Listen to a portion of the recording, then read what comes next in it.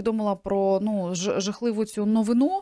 Е, ну, власне, що сталося? Чи бачили ви обличчя нападника? Ви одразу просто заявили свою версію подій е, і про те, хто при хто може бути причетний до цього злочину. Які підстави у вас є говорити про причетність ну тієї людини, яку ви назвали? Так, давайте по очереди. Смотрите, по поводу того, что я объявил фамилию Пономарева Александра. Э, Почему? Потому что э, внутри, ну, внутри города Бердянска, ну, и Запорожской области, это наш народный депутат от города Бердянска, который сидит в Верховной Раде. Э, У нас своя гражд- гражданская позиция по отношению этого человека, даже не человека, а как депутата. Угу. Э, Соответственно, много грехов в плане пророссийское движение в 2014 году. Э, То есть он лю- людей возил на Майдан за свои деньги. Э, На данный момент угробил больше 30 танков. Ну, как бы фактически это не доказано еще, но идет следствие. Суть не в этом. У него э, на данный момент в городе Бердянске весь арисполком, это депутаты, чиновники, все начальники госпредприятий, это его люди. То есть он местный феодал, который контролирует город Бердянск. Виталик, соответственно, вместе с нами боролся с этим негодяем, по нашему мнению. Утверждать то, что это сделал конкретно он, заказал и так далее. У меня нет морального права, но это как предположение, одно из.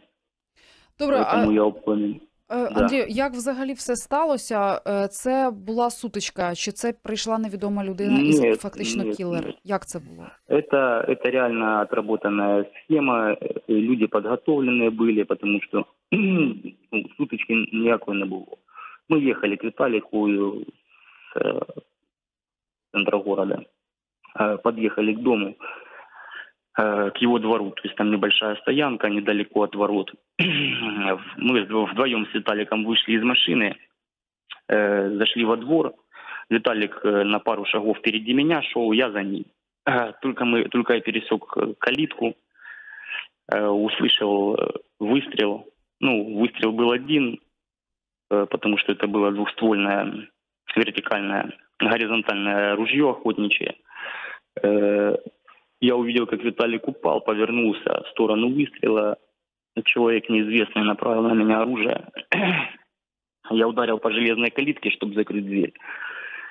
А Немножко его придержал и услышал э, еще выстрелы уже ну, на улице.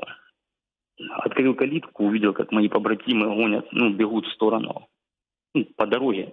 Э, ну, открыли огонь с легального пистолета Мгм. травматического Угу. в сторону машины, которая уезжала, машина была оставлена. То есть, э, о чем я, к чему я веду? То есть, ребята нас за нами, скорее всего, следили, когда мы подъедем домой, и они были не одни, то есть это не, один, не одно транспортное средство у них было. То есть их была группа, потому что они четко знали, когда мы приедем, четко это было все отработано. Ви Тому вже вас вже допитала Нацполіція чи ще ні? Ну, мы до сих пор в полиции, уже много кто опросил, э, очень много кто опросил. Е, Тобто, вже бу- в- ви вже давали свідчення, так? Да, и фоторобот уже составили, уже, то есть идут, э, даже есть информация, что их уже нашли, но пока я не могу фактически никак подтвердить, это все к полиции.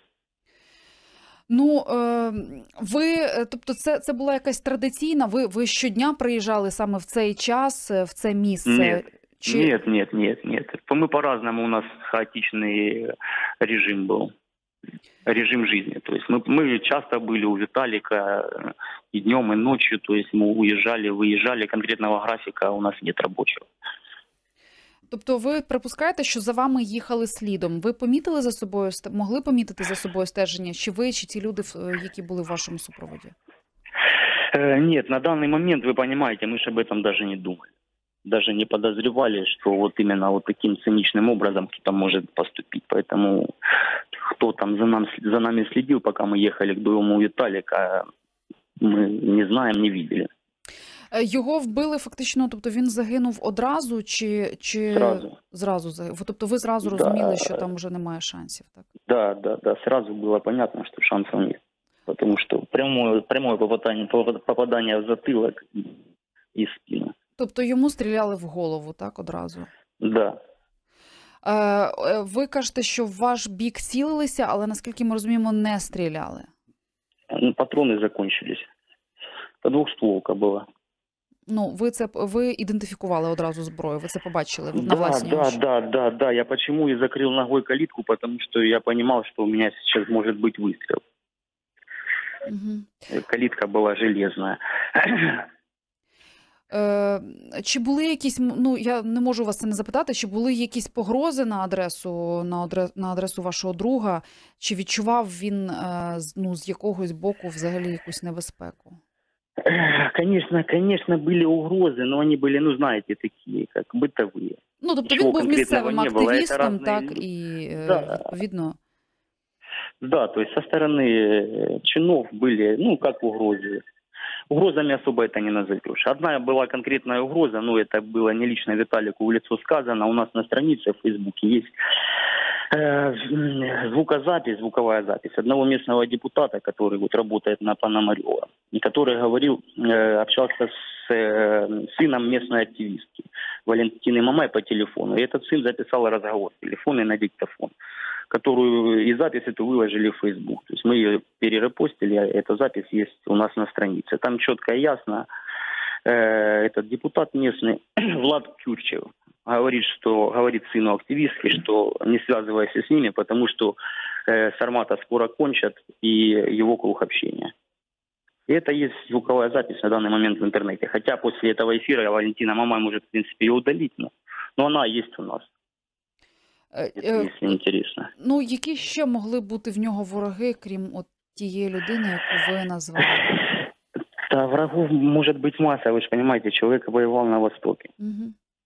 То есть оттуда врагов бу- может быть масса, 14 год. Поэтому конкретно отрицать момент, что это э, заказ из ДНР или России, или какого-то феодала местного, типа Саши Пономарева, ну, это будет глупо, если эти моменты отрицать. Поэтому э- этим должны заниматься специальные силовые структуры, которым мы платим налоги. И мы надеемся, что они выяснят, кто это сделал, потому что у нас нет желания на мирной территории проливать кровь. Чи вірите ви в те, що справа буде розслідувана і вбивцю знайдуть? Да, в любом случае. Либо силовыми структурами, либо нами лично. Е, в- Ну, ви маєте на увазі батальйоном чи от таким друзями, оточенням? Э, Ну, скажем так, эм, и батальоном, и активистами, то есть не безразличными гражданами нашей страны. Потому что Виталик боролся за справедливость не только за себя или там за нас, а конкретно, и он об этом часто говорил, что надо наводить порядок во всей стране, не в отдельном Бердянске и так далее. Так, поки ми з вами говорили, стало відомо про офіційно стало відомо, що е, було затримано е, вбивцю е, Олешка. Затримано біля міста Мелітополь Запорізької області. Про це офіційно повідомив радник начальника головного управління Нацполіції в Одеській області Руслан Форостяк. За, в- дослівно цитата. Некоторое время назад возле Мелитополя в результате оперативно-сыскных мероприятий был задержан убийца Віталія Сармата. Деталі вскоре на офіційних істочниках. Ну що ж, будемо це Фейсбук повідомляє пана Нет, это Форостяка. все верно. Я просто Мгм. не мог это вслух Да. сказать, потому что меня попросили сотрудники полиции пока публично об этом ничего не говорить. Тобто, То есть я в фактично, курсе был, что их задержали, да, то есть их задержали час назад где-то. так, і вже е, так, і Юрій Бутусов також говорить про те, що тобто, е, наскільки ми розуміємо, ага, поліція затримала групу кілерів.